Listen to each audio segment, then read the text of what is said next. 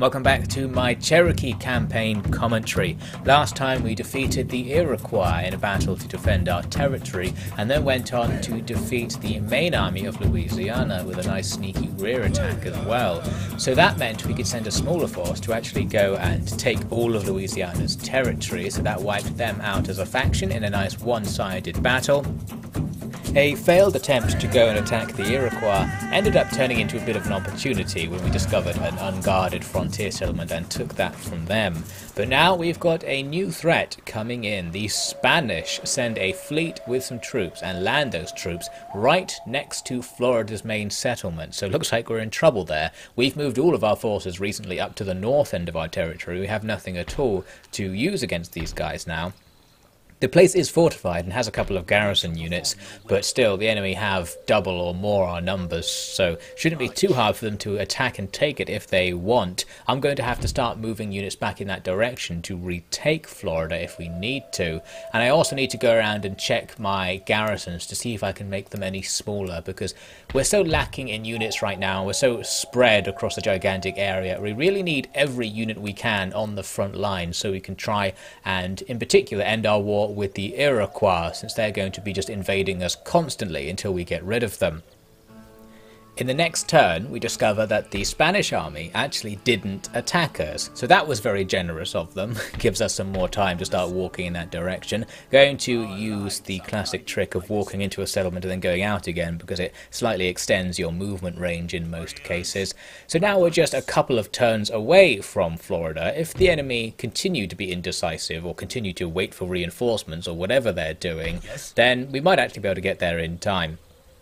Now up to the northeast we do need to fight this Iroquois army that's coming towards us. It's only small and there's no real advantage to be gained by uh, winning this battlefield, but in Empire letting even a few units walk past your front line can be annoying because they could go and destroy infrastructure and uh, even an army uh, of that size might actually be able to take a settlement because some settlements have almost no garrison at all. So anyway, the battle itself was going to be a simple affair by the looks of things. I just needed to surround them with our vastly superior numbers and the fact we had cavalry, and then attack them. I could only see their general because of course they can all hide in the open. I presumed the enemy would be just in front of the general, but as I charged forwards there was no one there, and in fact they had all of their troops quite far behind, hidden in these bushes for some reason, so that took me by surprise. And means my rear attack isn't really going to happen because now we're actually in front of the enemy again but I'm just going to charge into them anyway with all of my cav, lock these units down, uh, in particular the musketmen who are here. It would be nice to just have them fight against the lancers even if that's not an especially good fight for us. Meanwhile, we'll just plough through from the front. These medicine men aren't quite as good as the regular warrior unit as I've mentioned before, and we kill their commander right away. Plus more cav come in here to attack the muskets also. This battle's pretty much over. The only thing I wanted to do was test the uh, thing that people were saying in the comments to the first episode, which is that your cavalry can actually kill your own men as they run, and that definitely did seem to be the case. I saw my own units being annihilated by the cav moving through them as they pursued these other units. So that's bad news. I didn't even know that about Darth Mod. Now we've confirmed it at least.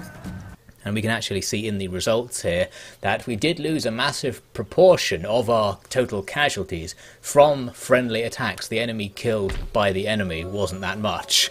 So a few units escaped there and we've won this little bit of ground, but as I said, not so important. I don't want to go and attack the Iroquois right now actually because I feel like I can become more powerful because I have a bigger economy, so I wanted to wait around a bit.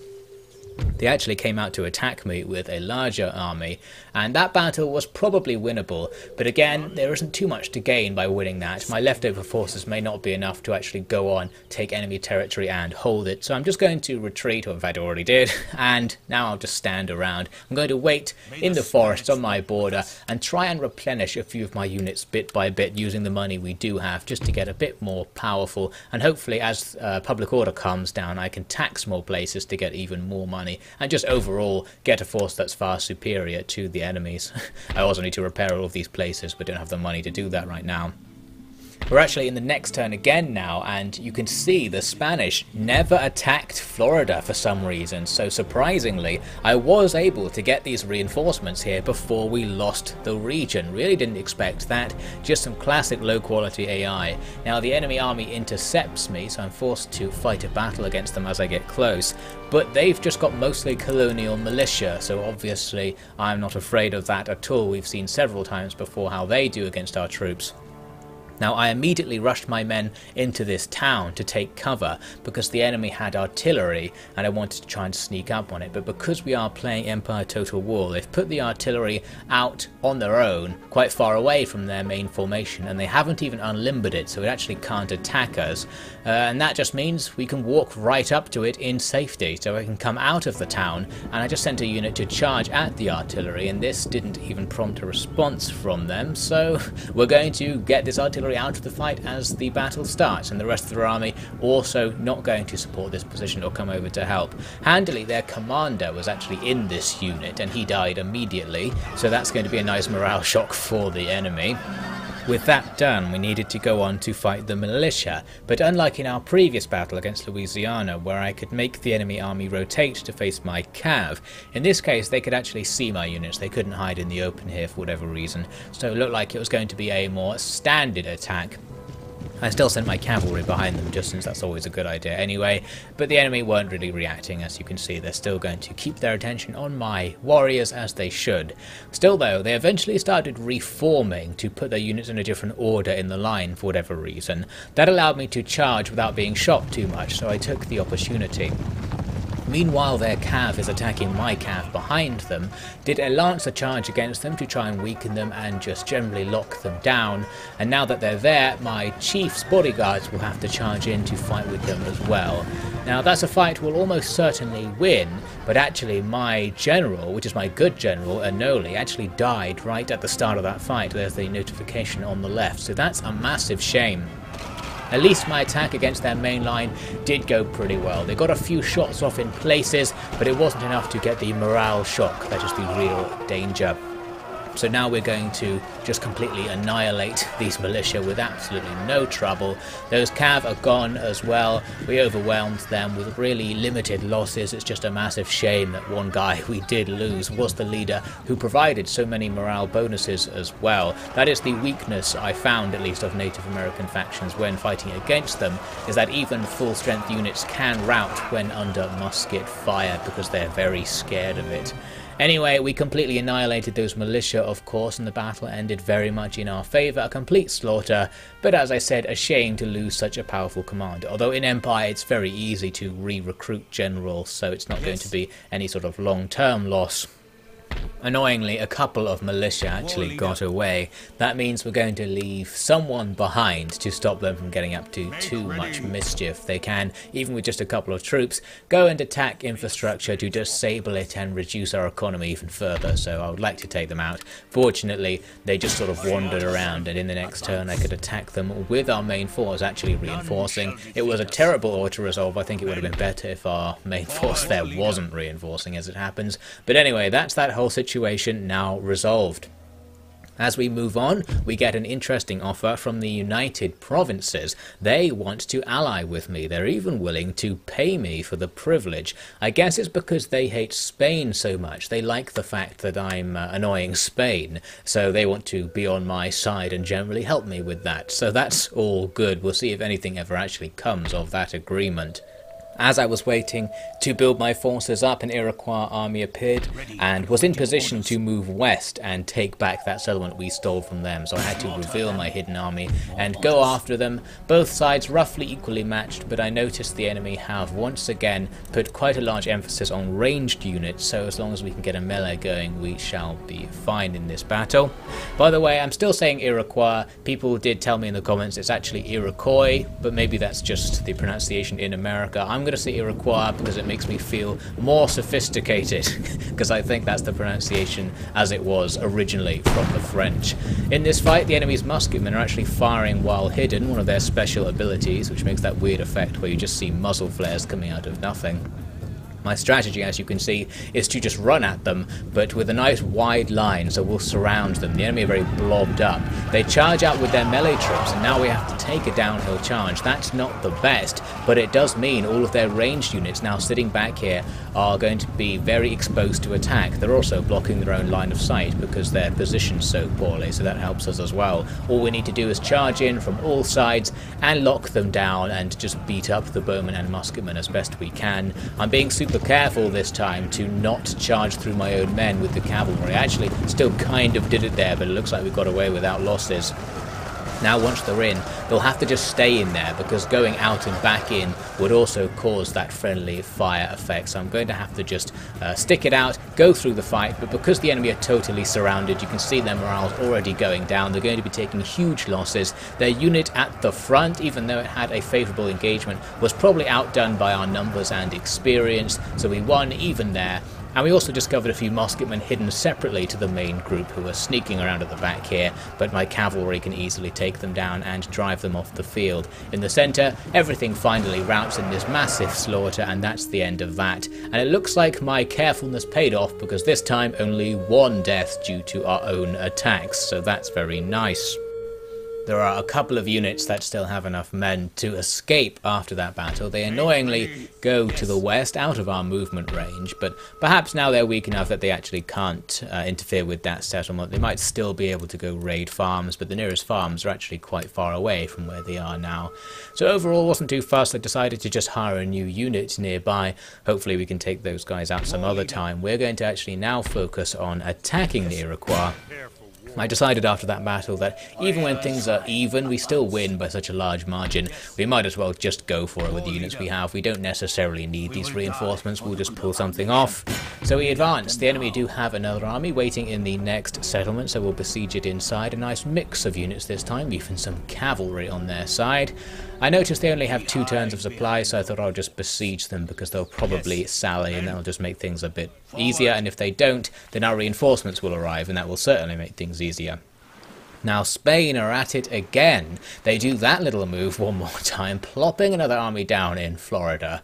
So maybe this is going to be a nice repeating pattern. They really want to send a few units to Florida, they just don't want them to necessarily do anything. So now we'll have to deal with that. First, the Iroquois do sally against us. It looks like they moved that one unit on the right side up to reinforce, but it didn't reinforce for whatever reason. So we've just got a straight defensive battle. We were pretty lucky in that we got a gigantic hill on our side, so I'm just going to move our main line up to the crest of the hill, ready to charge down. A lot of the enemy's army can hide in the open, so we can't really see them advancing towards us. We'll have to wait until they get close so that we can give our charge orders. Once they do get close, I realise they were turning their army to face my cavalry, because of course much of my army is also hidden from their perspective. And as they turned, they came so close to us that I just had to start the battle, charging down into the edge of this unit to get things going. I had another unit charging just to the left to go behind that unit, but we actually discovered some hidden archers in these trees, so that was nice. We can quickly engage them as they try to escape. The rest of the lines being more conservative, I wanted the enemy to get a bit closer to me so we could get a definite downhill charge. Don't want the fight to take place too far down the hill or we might end up on a flat bit of terrain. A cavalry battle on the right looks to be in our favour there, with two units taking on the enemy's general. Now the centre fight is getting going as we messily charge down into the enemy and they're sort of charging up towards us. This is just going to be a straight brawl, neither side having a particular advantage. We need to make some sort of decisive blow to avoid it just being a gigantic meat grinder with units of the same quality just destroying each other. They even had their musketeers here in the centre firing onto my flanks, but finally my cav have got behind the enemy to start locking these these muskets down. One unit is engaged directly, the other unit can be engaged by a unit that was freed up further up the hill from one of the enemy units retreating. We get a nice rear attack because the muskets tried to leave just as we advanced into them, so that was good.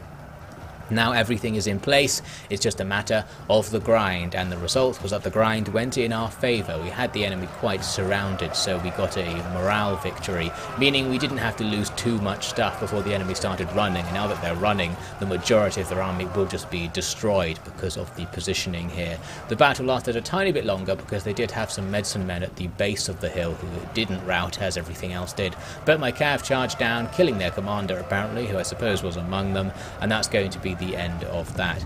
Our losses are mounting to about a quarter of our army in the end. Not too bad, really. The enemy's loss is complete. And because that was a sally battle and we completely destroyed the enemy, we actually get the settlement right away. We just move on in. That other army to the west does move off as if it's going to do some annoying raiding, but I think I just went and auto-resolved it with the local garrison. Really, I'm more worried about what the Spanish are up to. I'm hiring a new general with the two units I have in the area, and he's also called Anoli, so perhaps he will continue the legacy of our previous successful commander. And he's going to go down to try and reach Florida before they attack. This time it looks like they've actually brought some real line infantry who are substantially better than militia.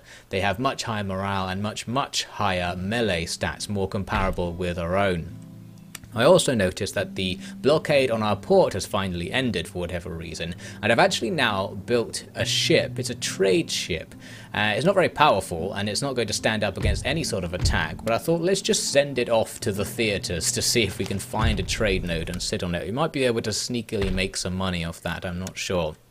Now, back up with the Iroquois, we want to just continue on and attack their capital to the east before they build up too much stuff. So I'm just investigating the resistance to invaders thing, and luckily it's not too high. We can really just move out with everything and go for them. There was this one unit of musketmen on the road that for whatever reason decided to fight our army as we advanced kind of annoying because it forces me to take an unfavourable auto-resolve, so ended up losing as many as we killed there. But at least we got lots of positive traits on this commander, so now he's going to be pretty effective. Good to have a few guys with the morale boosting stats, as I mentioned, since their army can potentially be much more effective. Now, the Spanish take me by surprise. They actually do attack Florida before I arrive, so it looks like the AI has learned from its mistakes. This is good. I thought it's probably worth fighting anyway to see how much damage we can do to the enemy. We want to get them to a point where they're weak enough for the three units we have on the way to reinforce to be able to easily retake the place if we lose it. One factor that will help us was the interesting discovery that our men actually could operate the guns on the fort, the little cannons, so that allows us to inflict some damage early on. The main problem we'll face is just going to be that the enemy have more units than we do. We can only defend two places and they can attack in many places, so we can't cover the whole fort. As the enemy get close, our archers try to hit them with arrows, but they are still as useless as ever and inflict almost no damage. I think they might have killed one or two with this barrage. Interestingly though, it does have a negative effect on enemy morale when combined with the fact that they also took fire from the cannons, and miraculously the first unit to arrive actually routs. They still have most of their troops, so they'll come back later, but still, that is a promising start. Now, the enemy are just going to climb up onto the walls, and really this is all we can hope for. We need them to climb up to places where we can contest them and just kill loads of them as they come over the edge, and that may cause them to rout and go away. The problem we'll have is that because they're climbing up in three different places and we only have two units, uh, then of course they are going to be able to get into the centre of the fort without us stopping them after a while. So we need these melees to conclude as quickly as possible so that we can have extra units freed up. At first I had low hopes for that actually occurring, but it seems that one of the first men over the walls over here was the enemy's commander. He gets killed and the unit attacking my archers routs, so that's going to give us a chance to actually rush that unit back towards the capture point just as the first enemy units start coming into the courtyard. As a result, we did manage to set foot on the capture point as the enemy did. That prevents them from capturing it now that it's contested and we'll be left with a pretty difficult melee but at least no victory timer. It's only archers so taking on multiple units of line infantry may not be the best thing to do in melee, but they're still okay in melee compared to those of other factions, the ranged units of other factions that is. So we'll just have to grind it out and it's going to be the same thing up on the wall. But we then lose our own commander up here and that causes our units to start wavering. We're doing massive damage to the enemy. You can see the massive uh, pile of bodies just over the threshold of the wall there. But because our unit now routs after that commander loss, the enemy will be able to get these units up onto the wall. I thought we might actually be able to just about kill all of the enemy units coming over that part of the wall and then come down to support our archers. Our archers are slowly losing to the enemy, but only because the enemy's numbers are quite far superior. We're doing pretty well and actually trading effectively, killing loads of the enemy, but with the battle effectively lost, our guys end up routing And that's going to be the end of that. A close defeat, our first loss of territory, and we didn't really kill that many of the enemy, perhaps a third of them, not really enough to guarantee that we can retake it, or even to guarantee that this enemy force won't go on to attack Georgia, for example, and take even more lands from us. We'll see what I can pull off next time.